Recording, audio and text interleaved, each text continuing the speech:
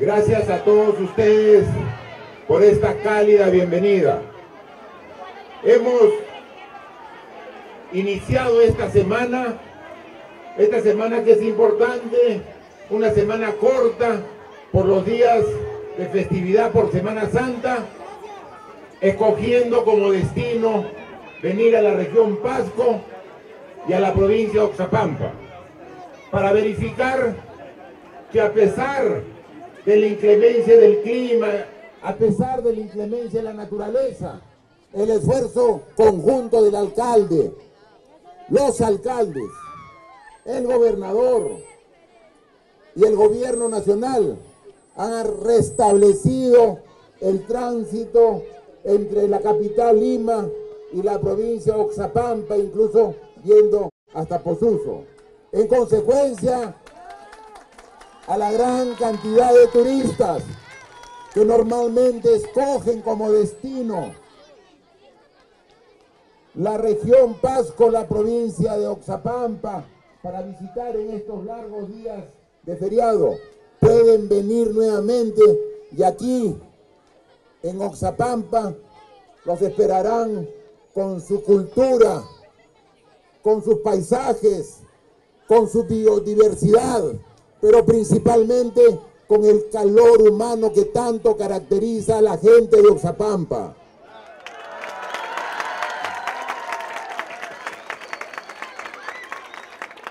Pero a pesar que hemos podido salvar lo más importante de la emergencia que Oxapampa ha sufrido en las últimas semanas y que no es un caso solo de Oxapampa.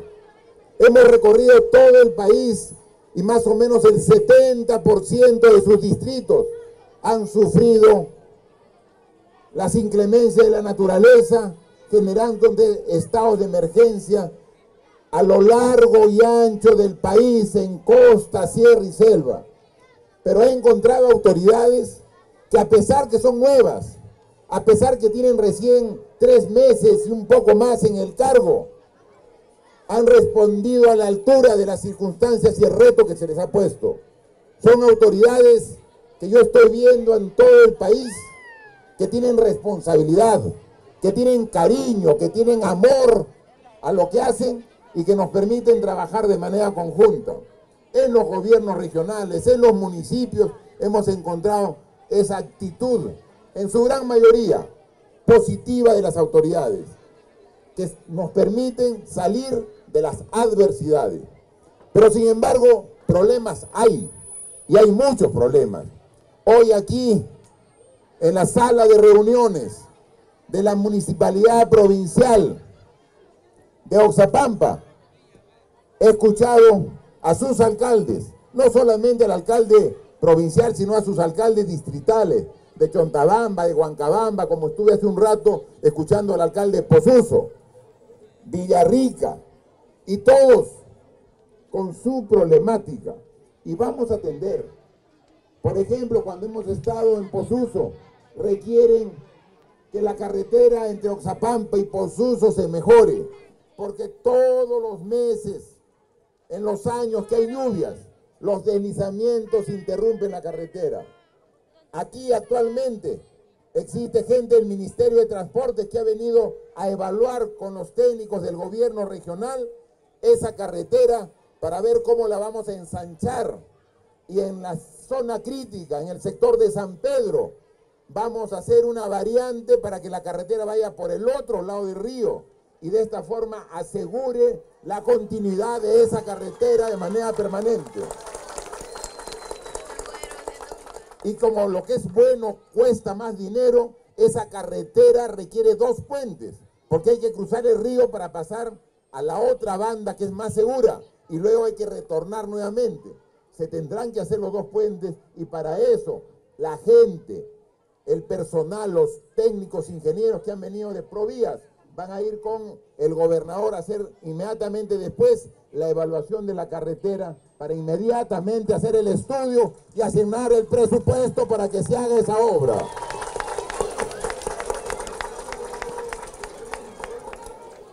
He recibido de parte de los alcaldes también requerimientos de equipo y maquinaria.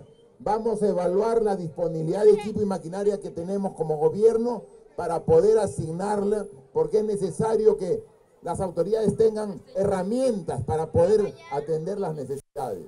Y entonces vamos a trabajar.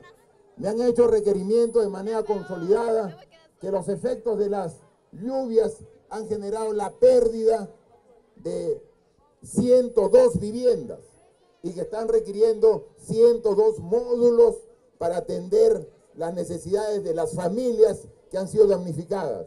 Me acompaña aquí el general Chávez, jefe nacional de INDECI, quien va a hacer la evaluación rápida para que pueda constatarlo y nosotros a través del Ministerio de Vivienda asignar los módulos correspondientes para que se pueda atender estas necesidades. Pero también hay necesidades en algunos módulos cuando se han perdido aulas en escuelas o centros de salud también. Vamos a hacer la evaluación conjunta. Hay un puente que ha sido dañado, hay kilómetros de carretera, hay aulas en las escuelas, hay también ambientes en los centros de salud y viviendas que han sido damnificadas. De manera conjunta vamos a atender, nos estamos llevando la evaluación que nos han presentado para haciendo la verificación, asignar los recursos. Y vamos a atender, pero además de atender la emergencia, tenemos que pensar en los requerimientos pensando en el futuro, porque la emergencia es hoy, pero la vida no acaba hoy, la vida se proyecta al futuro. Y tenemos que trabajar con una visión de futuro.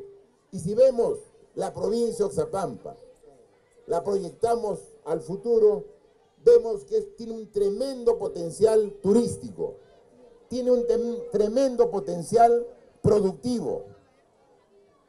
Y eso requiere la conectividad adecuada entre la provincia de Oxapampa y precisamente la capital de la República. En consecuencia, vamos a dar también la disposición al Ministerio de Transportes y Comunicaciones para que a través de un equipo técnico profesional que incluya a personal calificado de CORPAC, la Corporación Peruana de Aeropuertos y del Ministerio de Transportes que evalúe la construcción del aeropuerto de Oxapampa.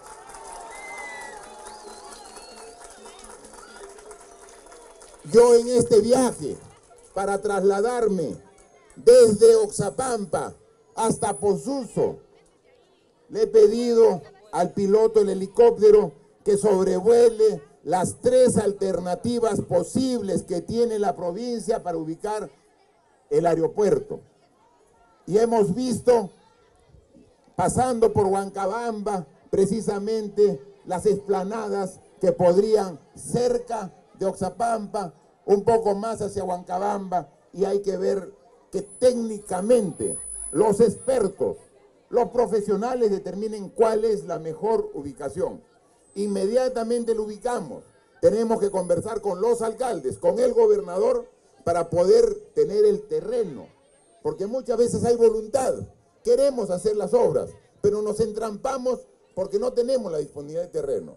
Si nosotros con el estudio técnico logramos ubicar el terreno, si juntos con el gobernador y con los alcaldes logramos el saneamiento físico legal del terreno de la mejor opción, yo ante ustedes me comprometo a dar el financiamiento correspondiente para la construcción del aeropuerto. Esta es una tarea que nos compromete a todos. Todos tenemos que hacer nuestra tarea. Todos tenemos que de manera conjunta. Y así vamos a lograr sentar esa base de desarrollo que requiere la provincia. Tiene un enorme potencial, pero hay que ese potencial hacerlo realidad con la participación de todos. Y también felicitar a los congresistas que tienen que también trabajar en ese sentido. Nos, eh, acompaña un congresista de la región, pero también un congresista de la Amazonía que viene desde Loreto. Así que tenemos la voluntad de trabajo conjunto entre diferentes poderes del Estado y entre los tres niveles de gobierno. Así que, señor alcalde, esta responsabilidad la tenemos compartida lo podemos sacar adelante si trabajamos juntos y trabajamos de la mano del pueblo para cumplir las necesidades de su progreso y desarrollo. Muchas gracias y regresaré a Oxapampa cuando tengamos ya encaminado el aeropuerto. Muchas gracias. Gobierno del Perú. El Perú primero.